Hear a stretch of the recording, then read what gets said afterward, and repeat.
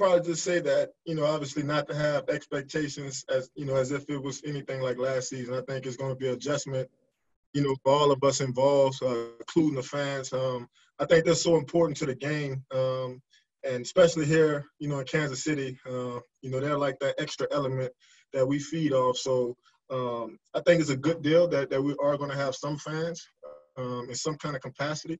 Um, but also, I, I, truly believe that the Chiefs and the NFL would do would, would take the right steps to to help those people, you know, stay safe. Let's go to Adam Teicher. Go ahead, Adam. Hey, Tyrann, how you doing today? Doing good, blessed. Good. Uh, hey, um, I asked you about Travis Kelce last week about being his teammate. Now I want to ask you about him as a player. Um, from afar before before you became his teammate did you have any thoughts about him as a player? Um, and also uh, you know what did those change at all when you became his teammate after you started practicing against him and seeing him play play in and play out? Yeah i've always i've always admired uh, travis from afar. Um, you know i've always been a safety inside kind of cover guy. Um, so he was always one of those guys. Um, I didn't necessarily stutter, study him in detail um, because we didn't necessarily play against the Chiefs uh, a lot before I got here. But he's always been one of those fascinating players, um, you know, players that you can, you know, find a mismatch which with, you know, in any kind of defensive scheme. Um, I think, you know, me coming here practicing against him, you know, he works just as hard as me. Uh, I mean, obviously, you know, I got a lot of respect for that you know, he's always out there. You see a guy like him, you know, practicing through injuries, practicing through, you know, when times are not going, you know, well for him. So um, he's a great talent. Um, you know, he seems really in sync with, with, the offensive system, the scheme, you know, the quarterbacks. You know, even when Matt Moore gets in there, you know, it's kind of like everybody's on the same page that Kelce's on. So I think that says a lot about his work ethic, you know, and the time that he puts in, you know, with the people around him. Let's go to Aaron Ladd. Go ahead, Aaron. Tyrann, we talked with Juan Thornhill yesterday, and he kind of brought us behind the scenes on uh, kind of the work that he's done to get back. What did it mean to see him out there with the ones, and and what does he look like uh, in the locker room? Oh, I mean, it's a blessing, man, to to to obviously, you know, see a guy come back from an injury like that. Uh, not many people can can truly overcome it, you know, mentally. I think for him, you know, he's in a good space. Um, he has a lot of good people around him, um, and I think, you know, he, he's confident in himself and his abilities. So I think that's going to actually, you know, help him once he gets on the field. In my opinion, he looks smooth.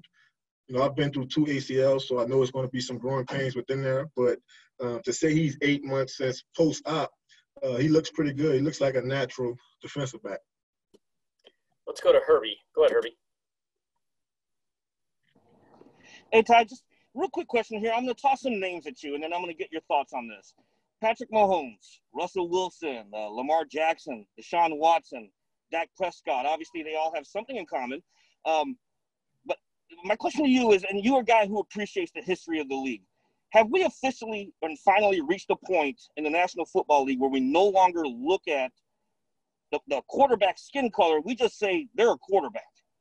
Yeah, well, I would hope so. Um, I think all those guys you mentioned – you know, has really set a high standard, you know, for themselves. Uh, not just, you know, what, what, they're able to do outside the pocket. Um, I think a lot of those people you named take the mental approach, you know, to the next level. You know, i.e. Tom Brady, Peyton Manning's, all those guys. You could see it in their everyday work.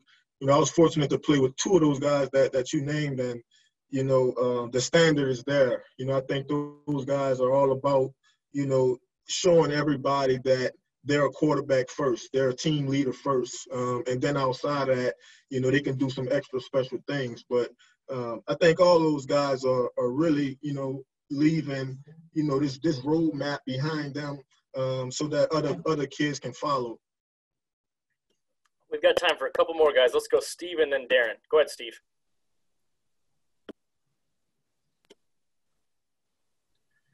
Steve, you got us?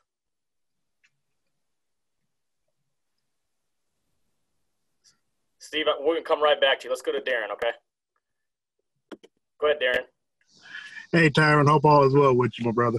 A uh, couple of questions for you. One, what is the expectation when you all with the year under Steve Spagnuolo's uh, defense and obviously the learning the learning trajectory that you all had?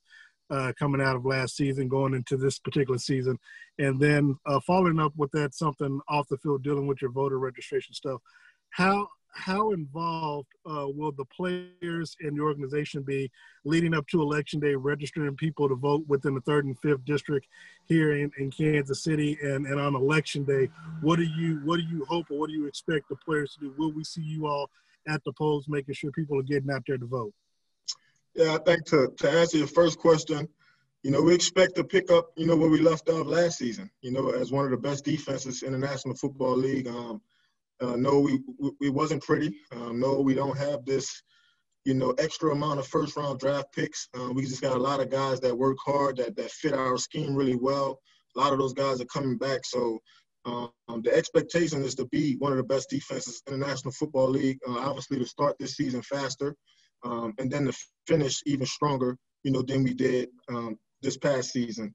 Um, I think the, I think right now between the organization and different players, you obviously the organization uh, is doing this part, um, trying to help other players um, and then the community as well, you know, with this voter registration. Um, and then individually, uh, different players are doing different things, whether it be in their own community, through their own foundation. So I do expect more players, not just with the Chiefs, but all around the NFL, um, to go back to their communities, um, to, to, to, to sit in on board meetings, um, not even when they're not able to, to be present uh, in certain situations. Um, I do expect people to speak up more, um, hold themselves accountable more, and then also encourage you know everyone around them uh, to vote. Let's go back to Steve and see if we can get a last one. Steve, can you hear us? Okay. Hey, can you hear me? Gotcha. Yep.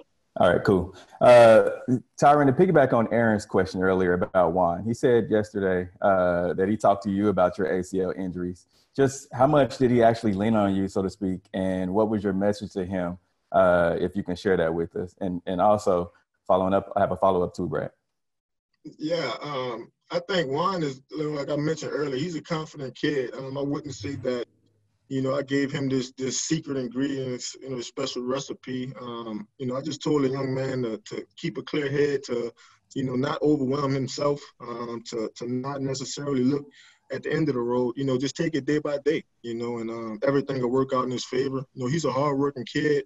Uh, he's a listener, um, and I think that helps you. You know, when you're going through through tough times. Um, but to see him back on the field with a smile on his face, you know, even when he wasn't on the field, he was in meetings with us, you know, still communicating, answering all the questions. So, you know, uh, he's a guy that you can obviously see hasn't detached, um, you know, from football. And I think that's so important. That also helps people kind of get over the hump, you know, of, of any injury. Um, I think anybody that's able to stay to stay attached to, you know, what they're doing, um, you know, it seems like they're never they're never checked out. They're always there. And and also in a normal world, you guys will be getting ready to play your second game against the Arizona Cardinals. Have you has your body said, wait, something is off yet? Um, as far as not playing those games because you've been in the league for a little while, and then when you found out that you weren't going to be able to go back for the first time to play in Arizona, what was that feeling like? Um, you know what? I think you know here in Coach Reid, you know, system, this organization, uh, it's a lot of practice reps. You know, it's a grind. You know, obviously we're, we're playing against some really good players, MVP players, you know, players that are considered the, the best at their position. So um, in, in, my mind, you know, outside of, you know, falling on the ground, tackling people, um, I think more, I think we'll definitely, you know, be ready um, to roll.